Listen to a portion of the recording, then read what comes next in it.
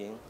أعلنت وزارة الإعلام عن إطلاق جائزة المواهب الإعلامية 2023 تحت رعاية سعادة الدكتور رمزان بن عبد الله النعيمي وزير الإعلام بهدف استكشاف المواهب الإعلامية البحرينية الشابة وتمكينها من تقديم إنتاج إعلامي احترافي ضمن رؤية الوزارة في تطوير الحراك الإعلامي السمعي والبصري والارتقاء بمهارات العاملين في مجالاته ودعم الكوادر البحرينية الإعلامية. وبهذه المناسبة صرح سعادة وزير الإعلام بأهمية التدريب وتعزيز الكوادر الإعلامية الشابة على اعتبار أن الموهبة هي إحدى أهم اللبنات الأساسية للإبداع وإيمانا بأن رعايتها والاهتمام بها بشكل مبكر يساهم في عملية تنميتها ونضوجها.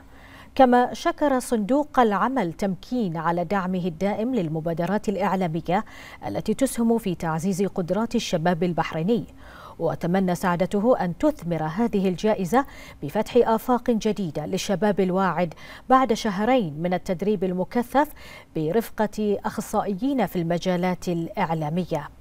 وتهدف الجائزة إلى كشف المواهب الإعلامية في مجال الإعداد والتقديم لإثراء المحتوى المسموع والمرئي من خلال تأهيل هذه المواهب للسوق الإعلامية المحلية والإقليمية.